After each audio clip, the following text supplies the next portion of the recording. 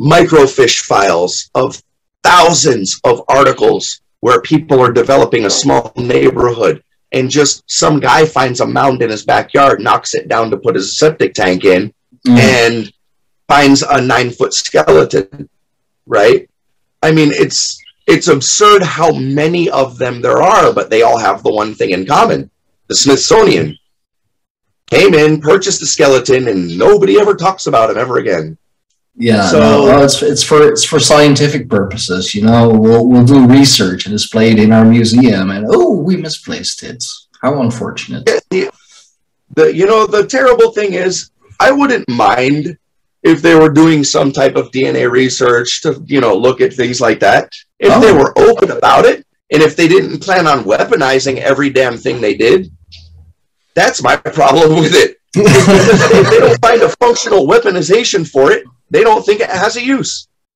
You know? No, no that's that's unfortunately one of the first thing that um, us us humans, us man, will uh, will do. We'll find something new and then figure out how we can weaponize it. It's just it's, like, why is that our our first instinct? Why is that like, oh, this is cool? How can we kill people with it? Like, dude, no, just. I mean, right, right. No, you cook food with it, man. You don't push people into the fire. You cook food with it, right? Like, I mean, our yeah, that's mind bending. But now the problem is we have a billion dollar organization that's spearheading it.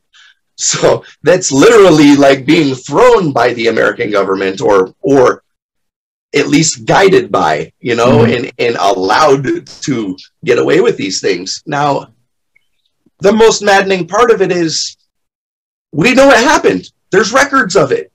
Yeah. Let's declassify it. It's time. You know, it's not going to hurt anybody's feelings nowadays. We've had enough talk of aliens and supernatural things that humans have been desensitized to it over the last couple decades. You know, if somebody told you that vampires were real right now, would you be surprised? With everything that has happened in the last two, three years? Nah. All right. I, I would not either. now, I find that a lot of humanity is the same way. We've seen it on TV so much, we've been desensitized to it all.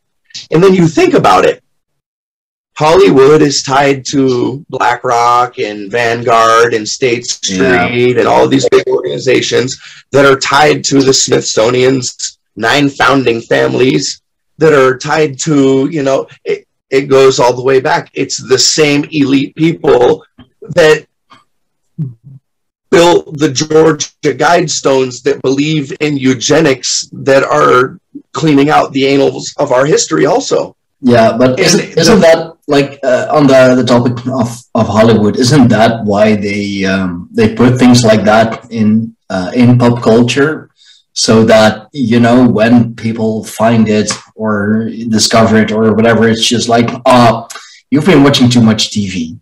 You know, you're just you're you're imagining things. No, those are those are fairy tales. What happens is it starts in pop culture. It starts with urban legends, folk tales, movies, books, etc. Yeah. Right? Then it moves on to people talking about it and them going, no, that's a conspiracy theory. And then like 11 days later, they're like, hey, guess what we just found?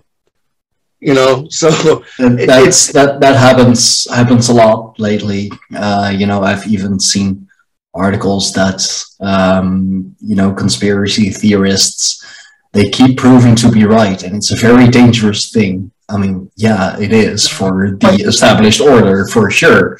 But you know, like uh, like I said, the last last two or three years, it was one big "I told you so." Right, and now we're still sweeping up that "I told you so" mess, and I think we will be for years.